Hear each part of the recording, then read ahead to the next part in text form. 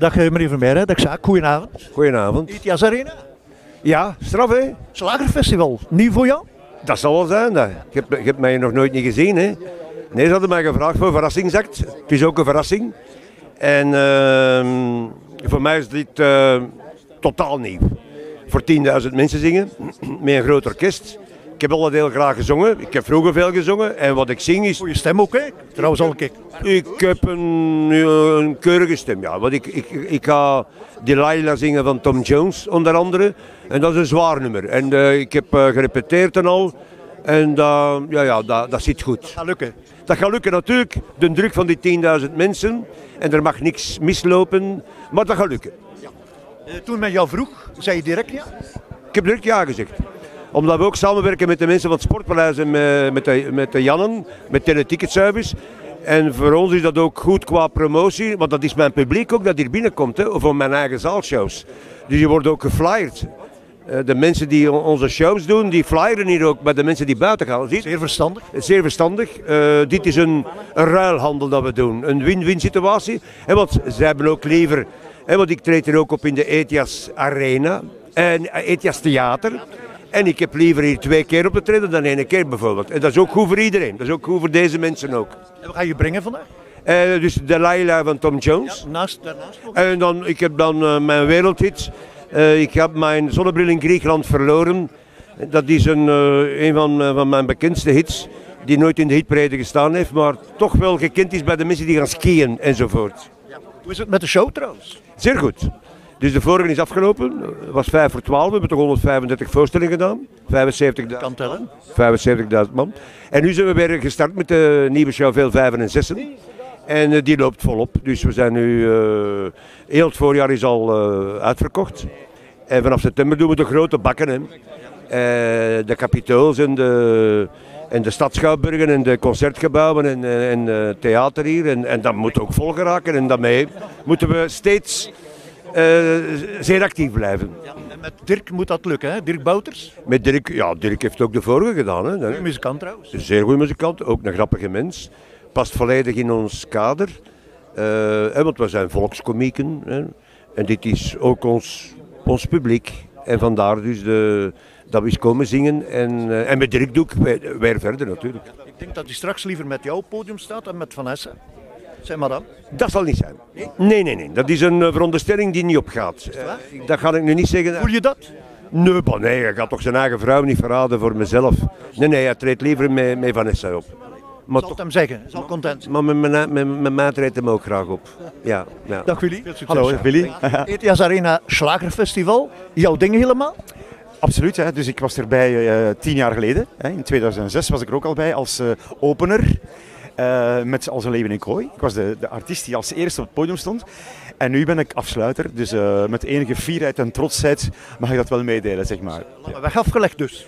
Ja, en ik, eh, ik denk dat ik er in totaal zeven keer bij was, van de tien keer. Dus ik, ik kom hier eigenlijk een beetje thuis. Voor mij is het eigenlijk al een beetje ja, routine geworden. Kledij een beetje aangepast of ga je met dit niet op het podium? Nee, maar dit ga ik niet op het podium. Nee, nee, nee. Ik kom nu net uit mijn kleedkamer, maar eh, eh, op het podium heb ik eh, ja, iets. ik heb gekozen voor iets eigentijds, iets leuk. Eh, omdat het eh, publiek vooral toch uit heel veel jonge mensen bestaat. Hè. De, de misvatting is nog altijd overslagen dat het vooral voor, voor senioren is en, eh, en voor rust thuis. Dat klopt niet. Dat is absoluut niet waar, want ik sta dus elke weekend ergens op een slagerfestival en dan zie je goed genoeg voor het publiek waar je optreden. Dat zijn allemaal mensen tussen 15 en, en 35, 35, 40 jaar. Dus, en die zingen ook al nummers mee. Dus bij, bij wijze van, van spreken kennen ze die ook allemaal van buiten. En ik heb vandaag zo'n een, een redelijk moderne outfit uitgekozen. Ja. Ja. En wat nummer breng je? Mag je meer dan één brengen? Eh, ik eh, start met Als een Leeuwin en Kooi, omdat het tien jaar geleden de opener was. Als tweede nummer eh, Een Wonder van een Vrouw. Dan als derde nummer heb ik een medley van mijn gekende hits uit de jaren 70. Dan als vierde nummer Zeevanjer Severoze.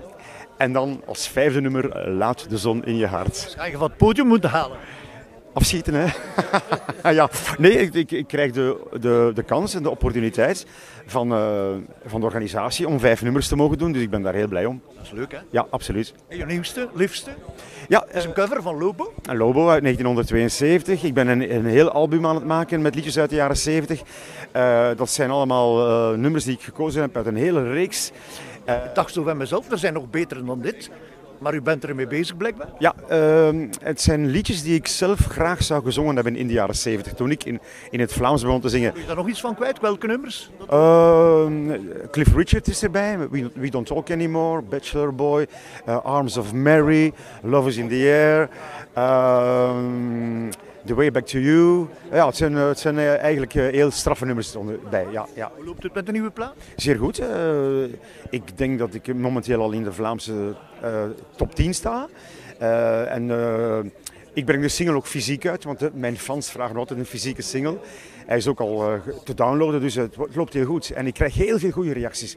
Het is geen, het is geen slager, het is een, we hebben daar een, een beetje een popsound van aan gema- gemaakt. En dat valt echt in de smaak. Je heeft een mooie, mooie snit, haarsnit nu, nieuw. Eh, niet direct, nee. nee, nee eh, Ligt het anders in de plooi? ik loop zo al een tijdje rond. ja, ja, ja. Wat vindt ze niet dan? Eh, goed hè, ja. Eh, eh, ik, ik, ik ben, mijn, mijn, mijn kleur is puur natuur, dus ik doe daar geen enkele, geen, geen enkele verf op of, of toestanden, dus pure natuur en dat wordt wel geapprecieerd. Ik hoor dat wel van fans en zo, van puur natuur is toch het beste. Ja, Altijd zo geweest, hè ja absoluut. Ja. Wanneer komt je dochter mee naar het Slagerfestival? Een duetje met Luna bijvoorbeeld? Ja, nu nog niet. Daar is ze nog te jong voor. Eh, en eh, ik denk dat eh, Luna haar, muzikale ambities een beetje anders liggen. Eh, ik, heb, ik heb dat gemerkt nu op een. ik had een kerstconcert een paar maanden geleden in december. En toen stel ik zo tussen pot, pot en pint de vraag van kijk Luna, zou je graag eens mee, een nummer meezingen op het podium? En toen zei ze ja, ja. En ik dacht ze van ja, Stille Nacht bijvoorbeeld. Een kindje van 12 jaar oud dat Stille Nacht zingt, dat is geweldig. Hè? En, eh, ja, zegt ze, ik moet er wel eens over nadenken. Hè. Ehm, twee dagen daarnaast z- zegt ze mij, ja papa, ik wil het wel doen, maar wel met een Engelstalig liedje. Dan heeft ze White Christmas gezongen. Dus ik denk dat haar ambities een beetje in Engelstalig repertoire zullen liggen. Ja, jij beginnen met je iets? ja absoluut. Ja, ja. Maar ja, ik ben dan eh, met heel veel eh, succes beland in het Vlaamse lied. En nu, 44 jaar later, sta ik hier nog altijd. En met succes alweer. Absoluut, inderdaad. Ja. Jullie wel bedankt, succes van.